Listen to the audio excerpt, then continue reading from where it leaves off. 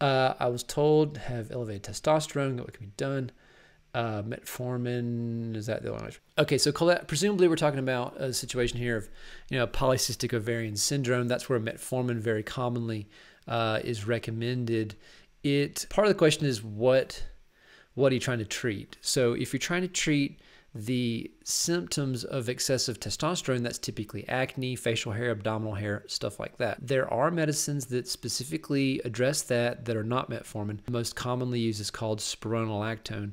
And basically, it is a, a, medication that sort of blocks the effects of testosterone. So, if you haven't heard of that one, spironolactone, that's a good one to think about. Metformin is is tricky. There's not great evidence that metformin is going to do anything particularly positive in polycystic ovarian syndrome, other than maybe it leads to some weight loss.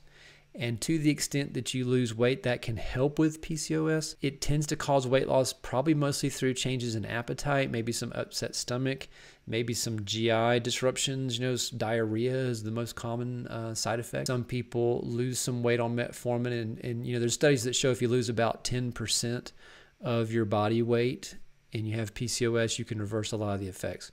So that's kind of where metformin is. I mean, the main reason to use it, of course, is if someone has diabetes, you know, gestational diabetes or just adult onset diabetes. So, not great evidence otherwise for using it in PCOS. No evidence I'm aware of that directly shows that metformin reduces your testosterone level.